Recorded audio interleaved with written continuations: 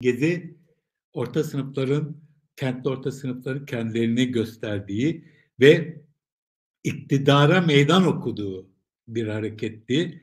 Bugün iktidara bir meydan okuyuşu görmek çok fazla mümkün değil. Burada daha çok Akbelen'de daha çok elindekini korumaya yönelik, iktidara yönelik bir direniş var.